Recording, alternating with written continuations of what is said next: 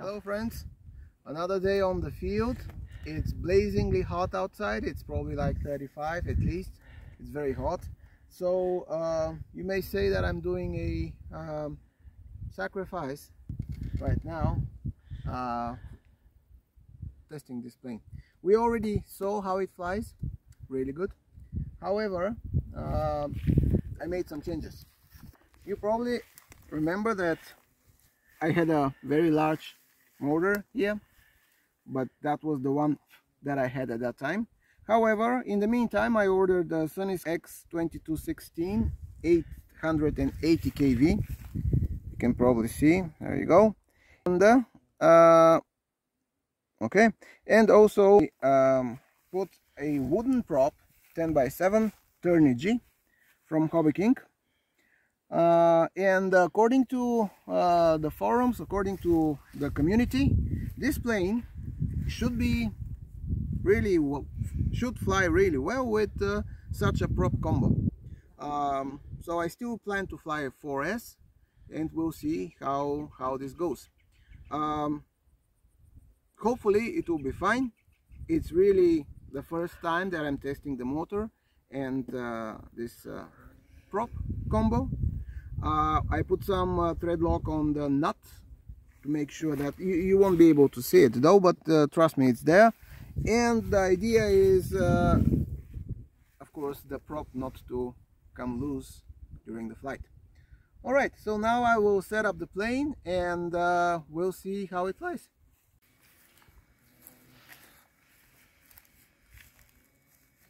So there it is. Uh, as I said same setup the only difference only difference is the motor and the prop. Turn the camera on. It's it's on. I already checked the CG always check the CG checking the elevons okay let's see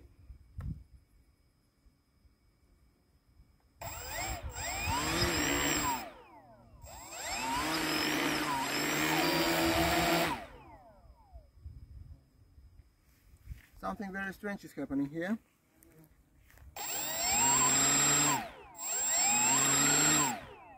It's stuttering. Now, what could be causing the issue? Two options. Either we have a phase that is uh, not connected properly, probably loose, or we need to do a uh, ESC calibration. So let's see what it is.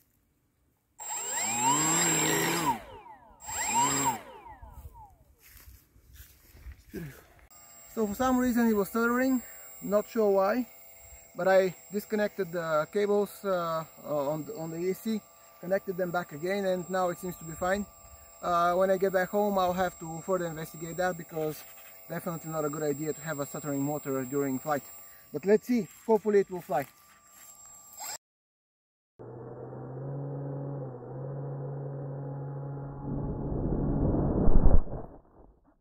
Okay, now we have a confirmation that this motor is extremely underpowered. Uh, throttle, it was not able to lift the plane. Therefore, um, sorry guys, but do not get Sunny Sky 880 kV. It is not suitable for that kind of plane. You need the bigger motor.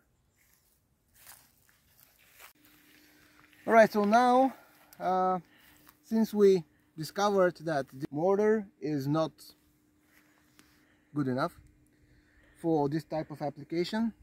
I had two batteries, uh, Molicel 2170, 700 as you know. So what else can we do? There is no wind today, which is in general good, but there is not enough headwind in order for the plane to gain lift easily. So the only other thing, since I didn't bring my big motor with me, although I thought of it, uh, is to try with just one battery. Hopefully the CG will be right. But let's see. Uh, I hope you can see. I will try to push this battery as much as I can although I really push it any further and now probably the CG will be off oh yeah big time big time off right not good. The only other thing I can possibly think of is if there is a some magic way to push the battery further. Because there is room I can tell you that but maybe like that. This is really the my best option and again extremely extremely tail heavy with such disbalance this plane will definitely fail. What else can we do? Maybe we can put some something heavy up front because it I don't need much but what can we put? Okay so since we saw that with this motor it won't fly uh, and I wanted to try with just one battery however the CG is not right it's always good to have another hobby like airsoft gunning. You can see here I have uh, loads of uh, pellets. And you can use those. Here's how they look. It's plain um, lead. So I put the um, pellets up front. And now we'll try again. Hopefully this will be enough for the motor to take off I mean for the plane to take off. Uh, folks don't do that at home. It's never a good idea. Uh, I'm risking right now just for you. So fingers crossed. Wish me luck. And and hopefully it will fly this time. Hopefully. Fingers crossed. Okay so I tested the CG it looks fine. Nothing is hanging. Let's let's see.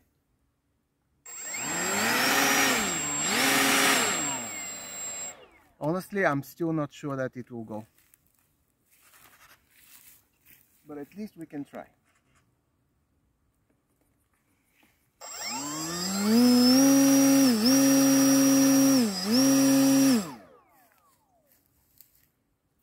probably it won't. Probably it won't. What what can we do? Honestly I don't know. I'll try to I'll try to run a bit. Again not a good idea but let's see